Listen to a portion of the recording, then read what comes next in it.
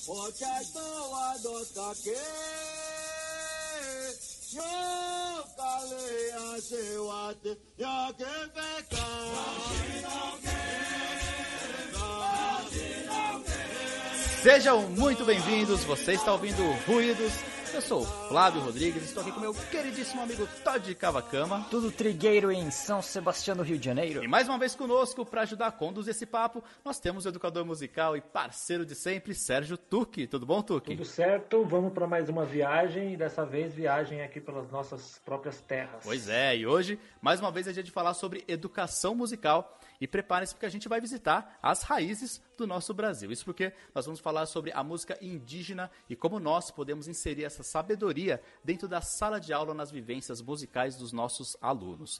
E para falar sobre esse assunto, a gente tem aqui duas pesquisadoras que mergulharam fundo nos cantos das florestas e compartilham hoje esse conhecimento com a gente. Nós temos a honra de receber no Ruídos a musicista e pesquisadora Magda Pucci. Ela é graduada em regência pela ECA USP, mestre em antropologia pela PUC São Paulo e doutora em performance and creative arts pela Universidade de Leiden, na Holanda. Além disso, ela dirige e produz o Mauaca, grupo que recria músicas de diferentes tradições do mundo, tendo já realizado turnês na Espanha, Alemanha, China, Portugal, Bolívia, Grécia e França. Tudo bom, Magda? Um prazer ter você aqui conosco hoje. Olá, olá a todos. Muito bom estar aqui com vocês. Muito bom. E também recebemos aqui a Berenice de Almeida. Ela é educadora musical e pianista há mais de 30 anos, licenciada em música, mestre em processos de criação musical pela Universidade de São Paulo e tem diversos livros publicados na área da educação musical. Além disso, é também coordenadora pedagógica do projeto Brincadeiras Musicais da Palavra Cantada, professora na pós-graduação do Centro Universitário Ítalo Brasileiro e ministra palestras,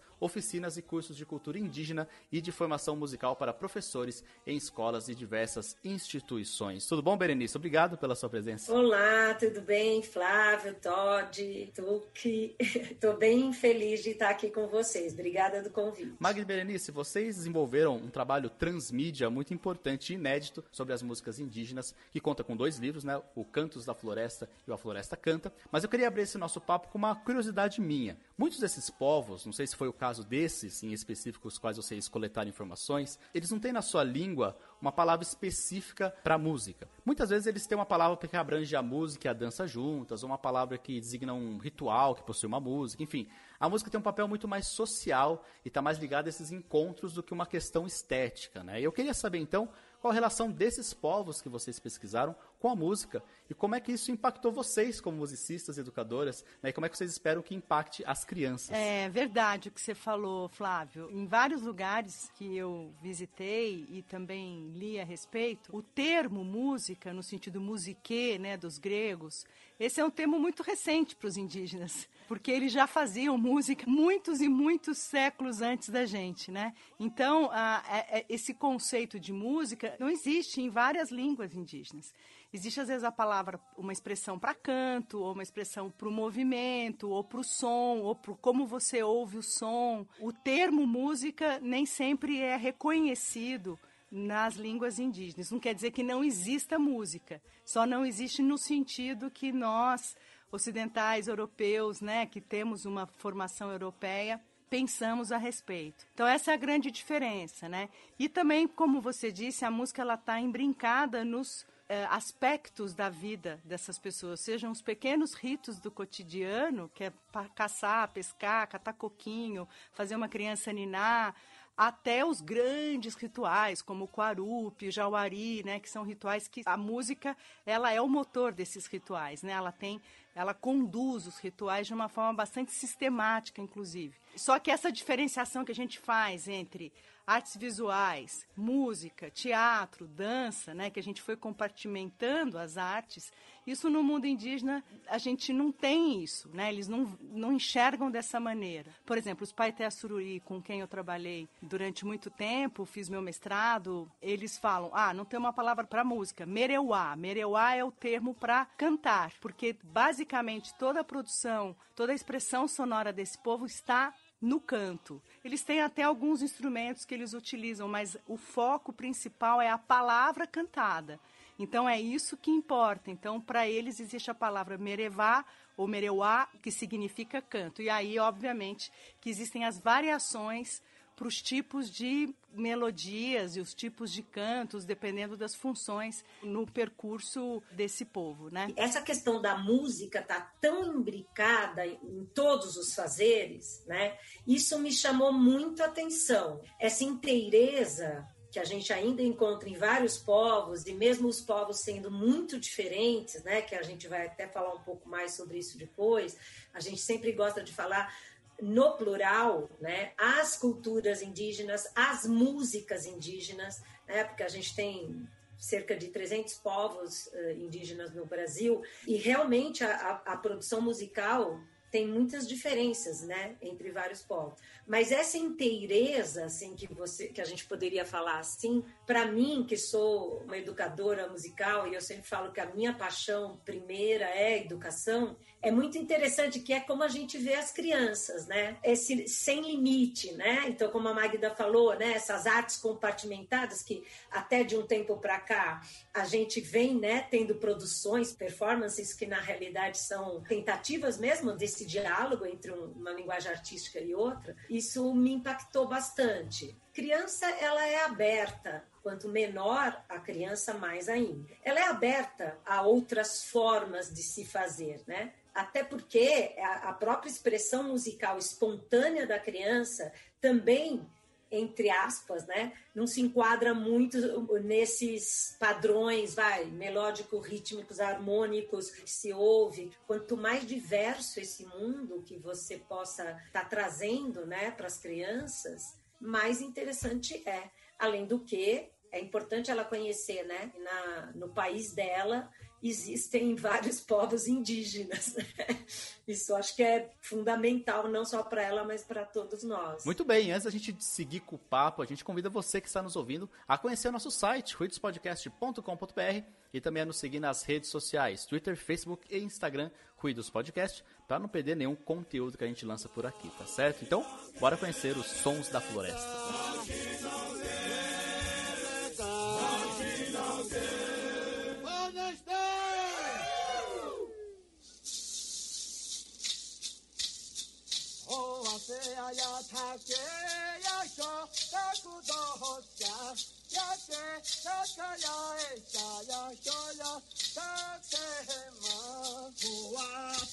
Segundo dados do IBGE de 2010, o Brasil conta com mais de 800 mil indígenas no território nacional, divididos em 305 etnias e 274 línguas diferentes. A maioria se encontra na região norte do país, seguidos pelo Nordeste, Centro-Oeste e Sudeste, e por fim, na região sul. O trabalho da Magri e da Berenice focou em nove dessas etnias. São elas os Guarani, os Caigang, os Paetê Suruí, os Icolém Gavião, os Yujá, os Cambeba, os Krenak, os Chavante e os povos do Rio Negro. Queria que vocês comentassem um pouco sobre o nascimento desse projeto, né, da onde surgiu essa ideia de trabalhar a educação com a música indígena e como é que foi o processo de pesquisa de vocês, né? Vocês foram para o campo coletar material, contaram com algum interlocutor para conhecer esses povos, como se deu esse contato com eles? A nossa parceria ela já vem de um certo tempo. Nós somos colegas de faculdade, né, na realidade, e aí lá perto do ano 2000 a gente escreveu o nosso primeiro livro porque a gente tinha essa questão de como a gente coloca esse repertório mais amplo na sala de aula. E aí a gente começou a trabalhar no Outras Terras, Outros Sons, e a partir daí a gente continuou essa parceria, demos muitos workshops tal. Então a gente começou a pensar de fazer essa ponte, né, entre a academia e esse professor que está lá na sala de aula tanto músico quanto não músico. Quando a Berê me convidou para fazer Outras Terras, Outros Sons, eu estava ainda, digamos, engatinhando né, nas minhas pesquisas com as músicas indígenas. Eu ainda não tinha contato com nenhum grupo, já tinha feito algumas músicas no Mauaca, uma delas foi o Coitiangaré, que é uma música muito usada na educação musical e, e fez parte do repertório do Mauaca por muitos anos, mas assim, eu nunca tinha pisado numa aldeia, né? E isso faz uma diferença enorme, né? Eu tive a sorte em 2005 de ter sido convidada pela antropóloga Betty Mindley, que além de antropóloga também é escritora em colaboração com vários narradores indígenas. Ela já tinha publicado vários livros, né, maravilhosos, com Zicolém Gavião, dos Paiter Suruí, e ela tinha um acervo de quase 300 horas de gravações desde o primeiro contato desse povo com o mundo externo, que começou na década de final da década de 60. Ela foi a primeira antropóloga a chegar ali, né? Então ela pôde registrar cantos e narrativas míticas de horas, né? Por vários sábios, né? Pelos, pelos Korubei, que são as, as figuras que detêm esse conhecimento antigo, né? Que, que são os mais velhos. Então ela tinha muito material e ela queria devolver isso para eles porque ela já mandava as fitinhas, porque tinha um intercâmbio muito grande entre eles, porque ela fazia as traduções junto com eles, tal. Então era um tal de fita cassete ir para as aldeias e tal, mas aí ela percebeu que as fitas estavam deteriorando e que ela tinha vontade de digitalizar e devolver em algum suporte, CDs, em suportes digitais. Então eu, eu fui convidada para fazer esse projeto que acabou se transformando no meu mestrado em antropologia, porque eu achei que para eu trabalhar com esse acervo eu precisava entender melhor questões da antropologia, né, até para não cometer alguns equívocos que a gente sabe que são cometidos constantemente, né, no trato com os indígenas e no entendimento dessa diversidade e tal.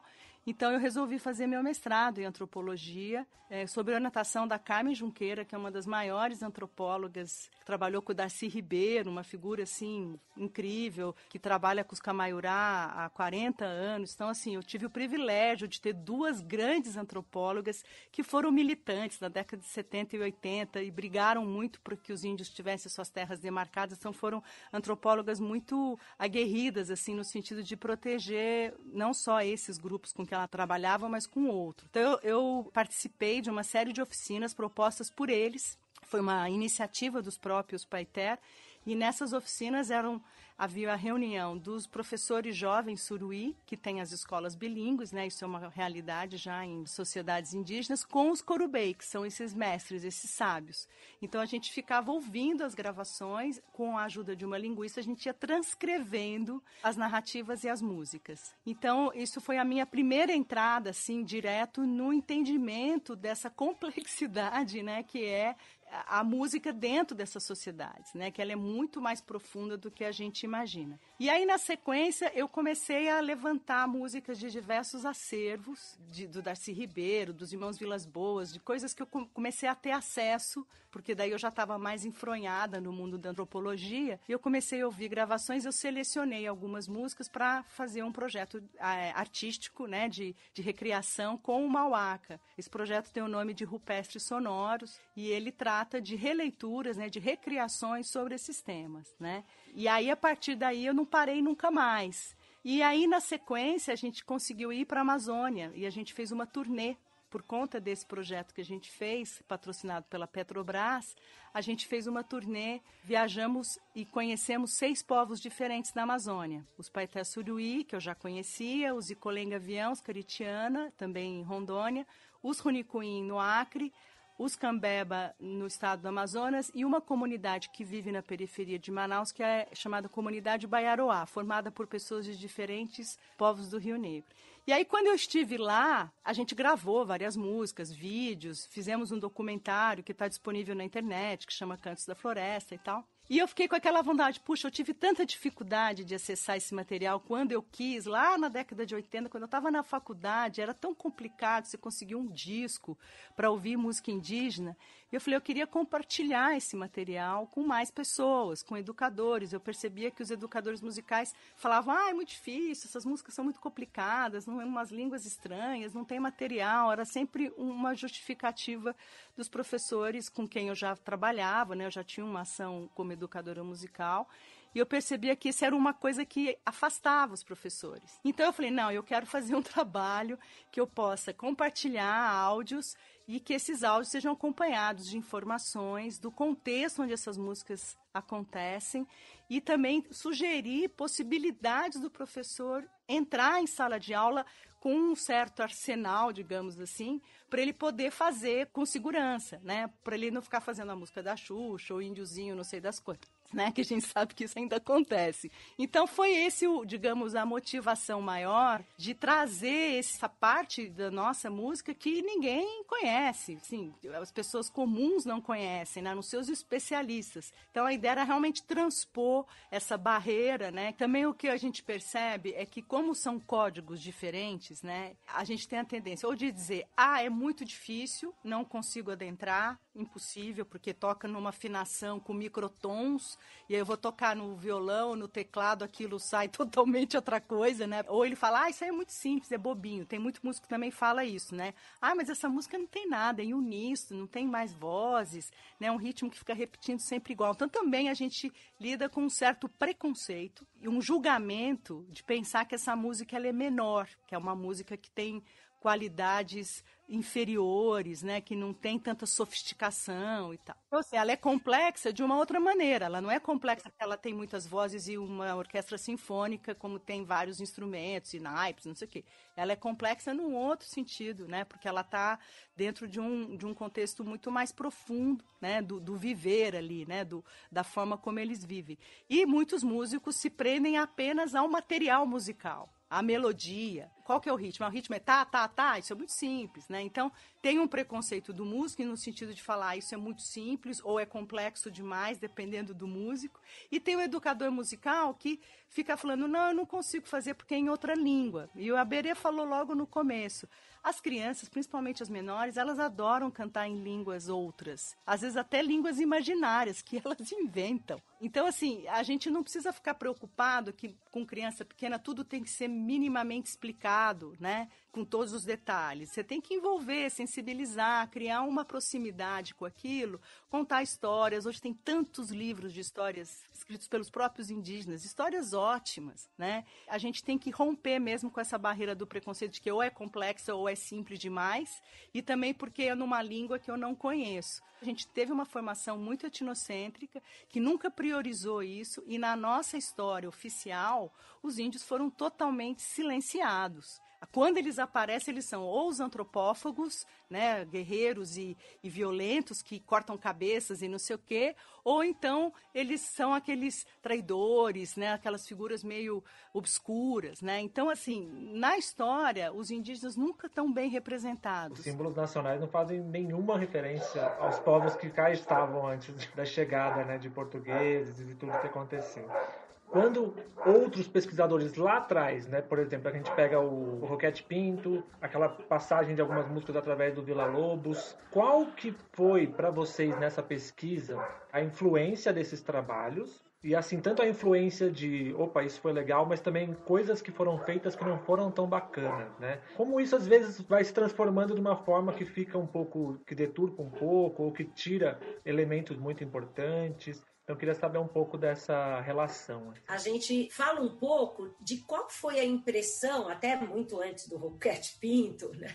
mas qual foi a impressão desses historiadores, está lá no século XVI, né? o que, que é que se pensava né? do mundo civilizado do século XVI, e para eles, aquela música que era feita em padrões totalmente diferentes do que era a música do século XVI, do século XVII na Europa, era um grande barulho. Então você vê, desde aquela época, a gente põe até lá, aí eles ficam uivando, gritos, né? Uma coisa horrorosa de se ouvir. Né? Eles fazem isso sem parar, uma coisa monótona. E esses adjetivos, eles foram prevalecendo. Essa questão das gravações, no princípio, elas eram feitas pelos europeus. O Cor Greenberg, um pesquisador alemão, ele gravou em 1910, 1911 as músicas dos Taurepang, dos Makuxi, inclusive a transcrição dos mitos desses dois povos, o Mário de Andrade usou para fazer uma cunaíma. Ele transcreveu praticamente parágrafos inteiros desses mitos que eram desses povos através da tradução do Cor Grimber. E a mesma coisa com os áudios, né? Quer dizer, esses áudios que foram feitos pelo Cor Grimber, eles foram para a Alemanha e só em 2006 ou 2007 é que eles vieram a público em CD, porque isso ficava guardado lá no acervo de Berlim. Só quem fosse lá poderia ouvir. Aí você vai ouvir, tem mais ruído do que qualquer outra coisa, né? É uma super decepção, porque você fala, ah, eu achei que eu ia ouvir algo claro, e você fala, ah, atrás, assim, né?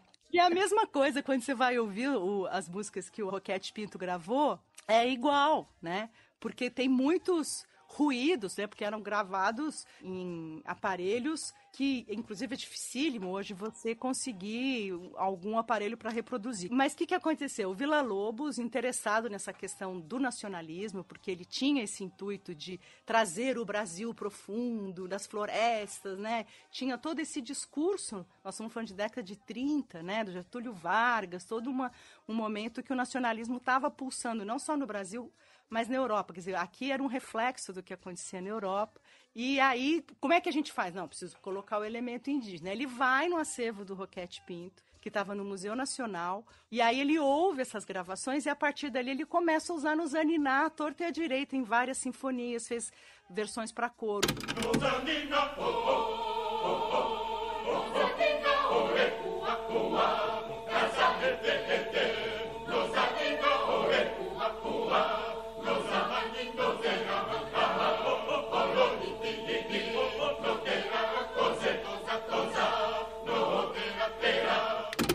piano, diversas formações. Foi um tema que ele usou como um leitmotiv, digamos assim, como um, uma ideia que ia passando em várias composições o tempo inteiro. Mas com esse intuito de falar: olha, aqui tem um elemento indígena, né? Eu estou lembrando disso. Mas, assim, muitas vezes ele passa despercebido. Tinha um, um objetivo político de falar: não, eu preciso garantir isso. Né? Então eu vou colocar os africanos e os indígenas. Então até que ele mistura África com índio, é, é uma, é uma confusão total na obra do Danças Africanas com nomes indígenas, é uma confusão que o, o Vila Lobos faz, porque não tinha as informações claras naquela época. O que ele ia pegando, ele ia... O Vila Lobos era tipo uma esponja, ele ia ouvindo e jogando as coisas na música dele, né? Então se a gente olha, sob o ponto de vista atual, o que Vila Lobos fez, ele deturpou ele folclorizou, ele fez tudo aquilo que hoje a gente considera nada adequado, digamos assim. Mas para o momento, ele foi altamente avant-garde, né? E ele também queria se exoticizar perante a Europa. Quando ele foi para Paris, né, ele tinha essa intenção de se mostrar diferente. Ele falava, eu que venho ensinar vocês aqui. Ele não queria ficar reproduzindo os padrões europeus, né? embora ele tivesse toda uma formação dentro desses cânones. Então ele queria se diferenciar e dar um toque mais exótico. E uma forma era incluir temas indígenas e de origem africana, ou com ritmos parecendo com lances africanos, para dar esse tom. Então, se a gente fizer uma análise bastante crítica e assim ferrenha, a gente vai dizer não, o que ele fez foi uma apropriação para fazer a música dele. Ele estava usando como um, um tema qualquer, né? Podia ser qualquer outro tema, né?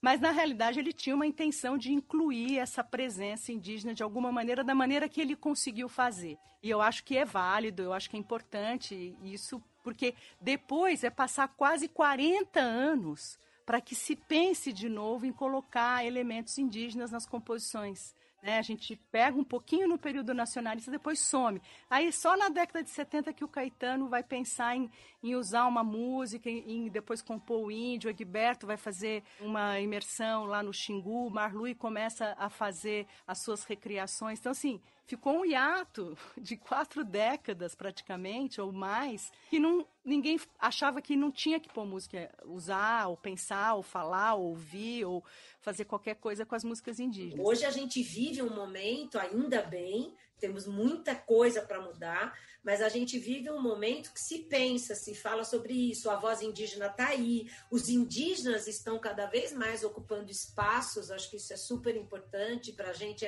A gente teve consultores indígenas, todos os povos, cada povo a gente teve um consultor indígena daquele povo para falar, ó, oh, esse texto está certo, né? Nós não somos indígenas, a gente está fazendo essa ponte. E dentro das oficinas, quando a gente consegue trazer um indígena para estar tá fazendo uma dobradinha com a gente, a gente acha super importante, né? Porque é isso. A gente talvez esteja nesse momento de estar tá fazendo essas parcerias, né? Vai chegar um momento que talvez não, não precise mais, né? Mas os indígenas estão aí ocupando espaços na literatura, na música, os indígenas fazendo rock, fazendo sertanejo, fazendo rap, né? E aí você vai falar, ah, não, eles não podem fazer isso? Eles estão aí, se, se eu posso, por que, que eles não podem? Se a gente fica criando muitas amarras e, e congela, essa música tem que ser assim, ela não pode ser modificada, a gente está evitando que essa música seja difundida, né? Porque nem sempre a música indígena consegue atravessar esses muros, né? Eu sei porque na minha trajetória como artista, as pessoas venham falar comigo, nossa, primeira vez que eu vi uma música indígena, que lindo, né? E aí vão se interessar em ouvir outras músicas, né? Quer dizer, eu só fiz uma cutucada, eu só falei, olha, é legal, olha aqui. E aí, a partir daí, é por conta e risco daquela pessoa, né? Então, não é que eu estou querendo substituir pelos próprios indígenas, mas eu estou em lugares onde eu consigo adentrar e consigo fazer essas cutucadas, né? E aí, é esse o meu papel, cutucar e, e falar, olha, atentem-se que existem vozes, músicas, instrumentos e coisas legais para ouvir. E aí vai ouvir outras coisas também, né? Então, eu acho que a gente não pode ficar com muito receio dessas apropriações. Senão a gente uma, não existiria uma Cunaíma, por exemplo, né? A gente não teria uma obra como a do Macunaíma, que é uma obra-prima, né, da, da história da literatura brasileira. Vou aproveitar esse gancho para falar também, né, a gente recebeu algumas semanas aqui o Gabriel Levi, seu colega de Mauaca, né, Magda? E ele dirige a magnífica Orquestra Paulistana de Músicas do Mundo. E ele colocou também uma posição muito tranquila, né, com relação a isso, né? Ele falou, uh, esses estereótipos são uma maneira realmente que a pessoa vai se aproximando muitas vezes, né? Então, ele tem esse lado benéfico, né? A gente não pode, como você mesmo colocou, ter uma visão tão fechada, porque isso pode aproximar. Né? Embora eu entendo que seja para muitos professores tem essa pulguinha. Então acho que é importante a gente discutir isso. E eu queria também trazer é, o papo para pensar sobre uma criação na sala de aula. Se eu crio uma música dentro da sala de aula usando é, esses elementos, me baseando nessas composições coletadas indígenas, né? Como é que eu vou conversar sobre isso, sobre essa apropriação? Né? Como é que vocês vê essa criação baseada nesse material dentro da sala de aula? Se você tem um material e você vai ouvir esse material, você vai cantar esse material, né? Você vai identificar elementos, fazer um trabalho de percepção com esse material, você também pode criar com esse material. Então eu acho que se você tem esse espaço garantido na sala de aula e desde os pequenos, né? Então, por exemplo, nas nossas oficinas, uma coisa que a gente faz sempre e é bem interessante, que é um exercício de criação, que é um primeiro contato das pessoas com os, com os nomes dos povos, e a gente propõe uma criação coletiva a partir do nome dos povos. E aí no nosso site a gente tem uma série de propostas que a gente faz e que na realidade, assim, é mesmo você acho que fazer um mergulho um pouco nisso. Então você canta, você ouve, você identifica, você ouve. Tem um outro exercício que a gente faz de escuta, que são vários trechos de, de oito povos, nove povos diferentes, e que as músicas são muito diferentes entre si. E de repente, a partir dali, você vai pegar essa que mais te agradou e você vai ouvir, de repente você vai fazer uma variação a partir dessa se você tem esses parâmetros muito claros de respeito, de saber quem é esse povo, que música é essa, de que povo é, onde ele vive, então eu acho que você está tendo uma contribuição eh, realmente benéfica. Você, além de você estar tá criando com isso e estar tá fazendo um trabalho de educação musical, você fala, olha, mas a música tradicional deles é essa. Eles vivem em tal lugar, eles têm tais, eles pintam o corpo desse jeito, abrindo e aproximando. Acho que essa é a nossa principal intenção, né? Aproximar as pessoas disso aproximar as pessoas dessas culturas indígenas que são tão desconhecidas para nós. Eu acho que quando você tem espaço para poder colocar no corpo, brincar com isso, jogar, pensar em outras possibilidades de fazer essa música, é, é, não é apropriação, é uma aproximação e é uma sensibilização e é um, um, um, cuidado que você tem com essas pessoas. Dá pra ver que também no trabalho de vocês tem uma espécie de, digamos, tradução dessas músicas para o contexto escolar, né? Porque no portal, por exemplo, a gente encontra diversas partituras e elas estão grafadas de uma maneira tradicional, europeia, né? Então, houve uma dificuldade em fazer essa transcrição usando uma língua, digamos assim, que não foi feita para aquele tipo de música, né? Como é que se deu esse choque? Nossa, foi um drama para fazer essa transcrição, porque você falou uma coisa exatamente real, né? A nossa partitura, né? A nossa, como a gente registra a música, ela nasceu de uma música de uma determinada música, inclusive numa determinada época histórica da música centro-europeia. Então, os parâmetros que aquela música tinha e que eles queriam na realidade registrar como altura, o ritmo, compasso, né, esse tipo de coisa, a escrita vem sempre depois da música, que já é feita muito tempo. E essa música, as músicas indígenas no geral, elas não têm escrita, né? Eles não têm uma escrita própria, vamos dizer assim, totalmente de tradição oral, mas a gente achou que também era importante, aí não pensando no professor que não é músico, a gente pensou nos músicos aí no caso, exatamente para romper um pouco com essas desculpas que a Magda falava, né? Então, assim, ah, aquele cara que é músico ou que é educador musical, mas trabalha muito em cima das partituras, tudo o repertório que ele escolhe, ele precisa estar com a partitura, tal. Então, a gente pensou nessas pessoas que elas poderiam ah, puxa, tem aqui um registro para mim. Mas a gente fala sempre, sempre que a escuta é o teu primeiro. A partitura é um guia, até porque, justamente, tem coisas ali, tem partituras que estão mais perto. Realmente, você vê a partitura e vê a, a, a gravação, você fala, ah, deu para traduzir bem. Né?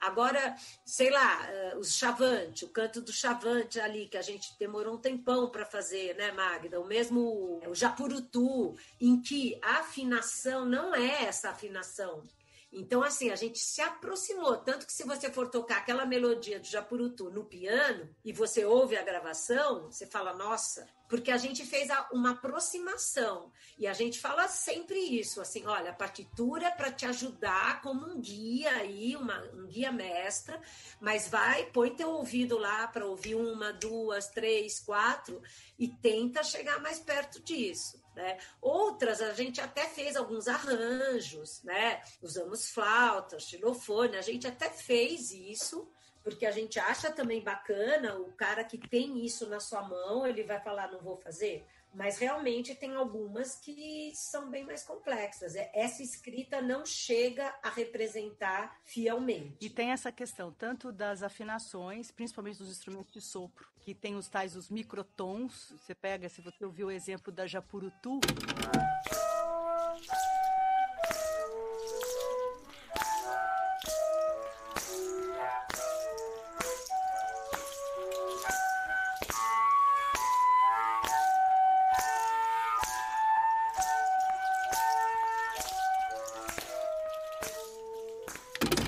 tentar tocar até em outra flauta. Eu me lembro muito bem dessa experiência com o Mauaca, quando a gente esteve lá com a comunidade Baiaroá.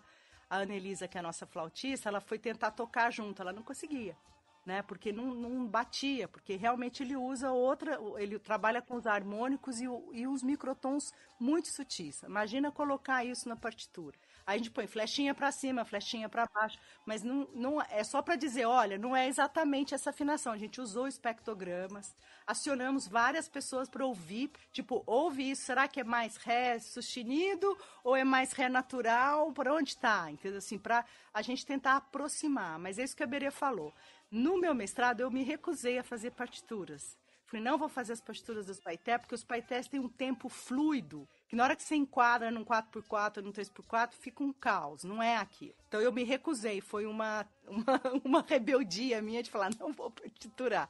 Mas depois a gente percebendo exatamente o quão difícil é você ouvir e depois reproduzir para tocar com as crianças, para você fazer com os alunos, a, a, a, gente não tem a memória que os indígenas têm. A gente ouve, dali meia hora você já esqueceu.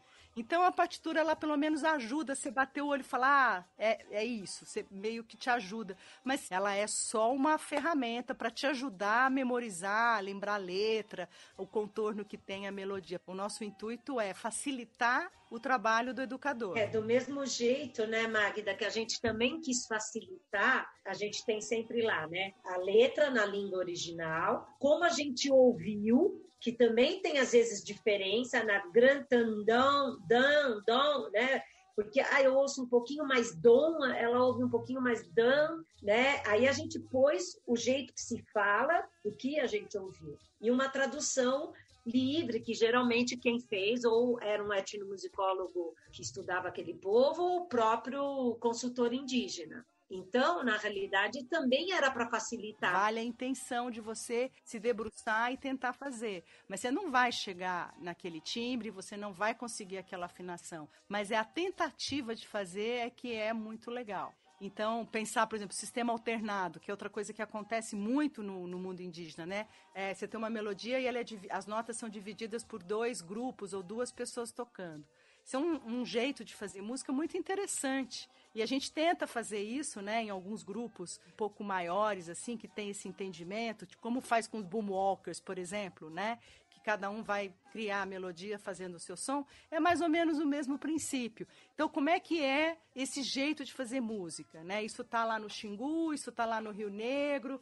Isso, então, aí você vai pensar, vamos dividir essa melodia, cada um tocando uma nota, vai fazer isso, é super difícil. E na hora que você monta a partitura, se cada um for ler só a sua parte, vai ficar uma coisa mega truncada. Ela, porque você tem que entender a melodia como um todo. Quando você faz, você tem a dimensão exata da complexidade. Porque se você, você falar, ah, essa música aí é quatro notas só, ah, é fácil, fica repetindo, parece que é a mesma coisa. E aí a gente faz também o exercício, eu me lembro muito bem da Sofia Ibor Lopes, fazendo o exercício de cada um desenhando essa música, localizando as alturas. E ela falou: nossa, é difícil. E a Sofia é, tem uma escuta maravilhosa, tem um repertório. Ela falou assim: Meu, é difícil isso. Porque a gente, a princípio, quando ouve numa primeira, fala: Não, é esquisito, é aleatório. Na hora você fala: Não, tem uma estrutura.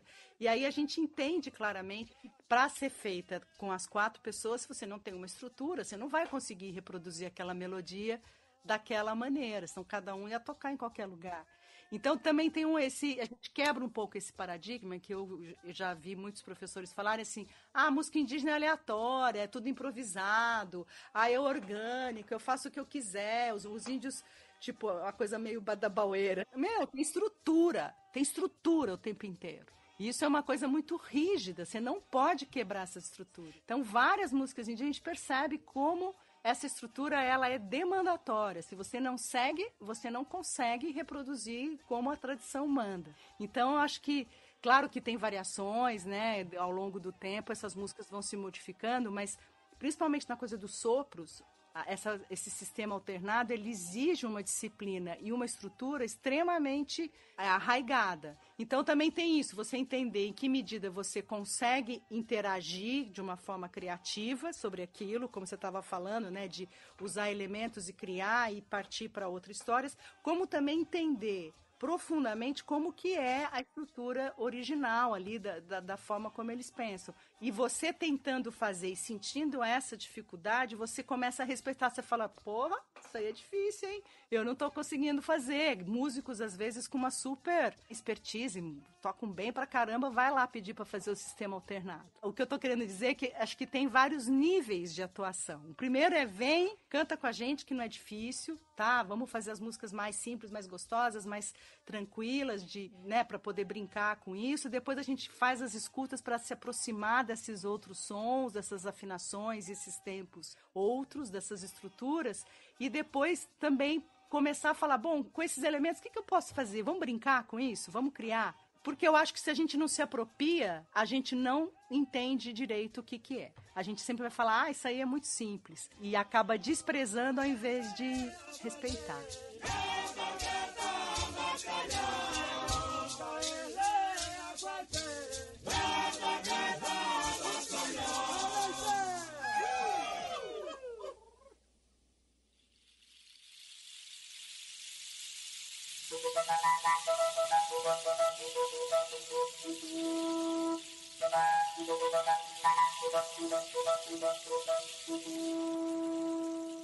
Muito bem, infelizmente estamos chegando ao final do nosso papo, um papo quente aqui, né, com muitas coisas para serem discutidas, mas também a gente aprendeu muito com a Berenice e com a Magda, então a gente agradece aqui do fundo do coração tudo que foi compartilhado hoje com a gente. Com certeza quem ouviu vai ter muitas reflexões aí para fazer durante os próximos dias. A gente queria agora agradecer mais uma vez e abrir o microfone para vocês deixarem os seus recados finais. Vou começar com a Magda mais uma vez. Magda, obrigado pela sua presença. Microfone aberto para você. Ah, gente, muitíssimo obrigado, Todd, Flávio e Tuque, de bater o papo aqui com vocês, com a minha parceira de pesquisas e educação musical, Berê, Berenice, né? É um prazer falar sobre isso. A gente tem um prazer muito grande em se enveredar por esses lugares todos, né? Desses espaços sonoros não percorridos, né, por nós. Então, fiquei muito feliz de conversar com vocês e queria aí deixar o recado para vocês acessarem o nosso site, o cantosdafloresta.com.br.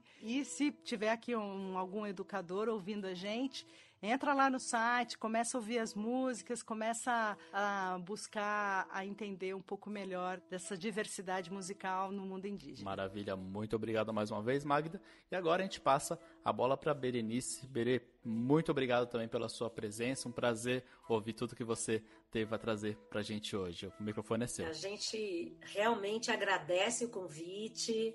Né? Eu acho o programa de vocês muito legal, muito importante, vocês estarem assim, né, chamando as pessoas para conversar, abrindo espaço para vários temas, né? E essa questão de ter aberto espaço para esse tema, que é a questão das músicas indígenas e educação. E realmente a gente acha muito importante, porque se a gente não falar sobre isso, se a gente não começar a se aproximar, não se sensibilizar, a gente fica no nosso lugarzinho de conforto, né, dentro daquilo que a gente foi formado e as coisas não vão sendo transformadas, né? Então a gente acha super importante estar tá participando desse momento de transformação, né, onde as vozes indígenas estão sendo cada vez mais ouvidas, ainda bem.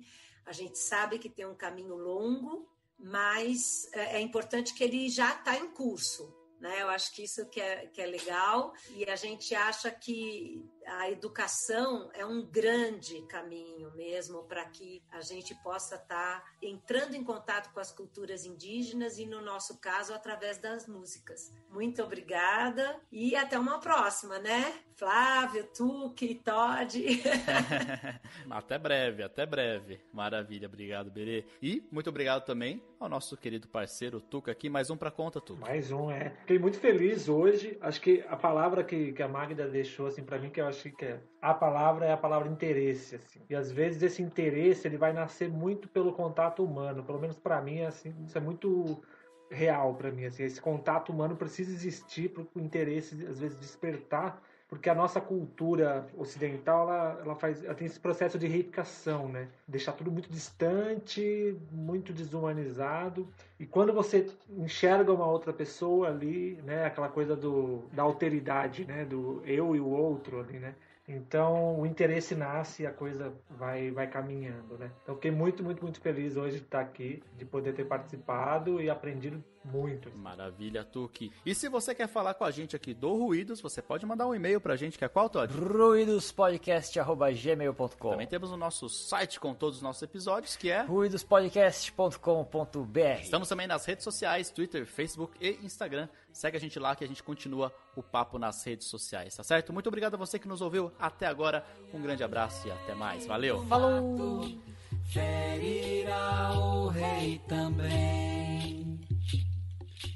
ferirá o rei também, ferirá o rei também.